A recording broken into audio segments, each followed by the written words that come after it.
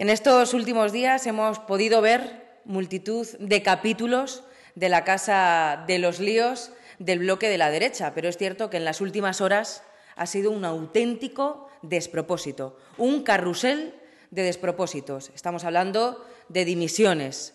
de convocatorias, de desconvocatorias y estamos hablando de que la señora María Guardiola se está desdiciendo de la palabra dada.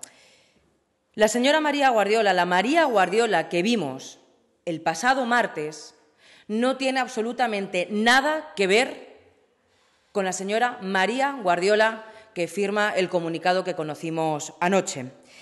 Y entonces lo que va a resultar es que lo que se tira a la basura, además de los derechos de las personas, es la decencia y la coherencia política de la señora Guardiola.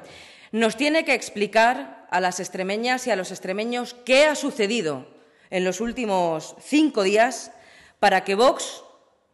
haya dejado de ser un partido racista, xenófobo, homófobo, machista, un partido fascista, para que de repente se haya convertido en un partido con el que sí puede y quiere sentarse a negociar para llegar a un acuerdo programático.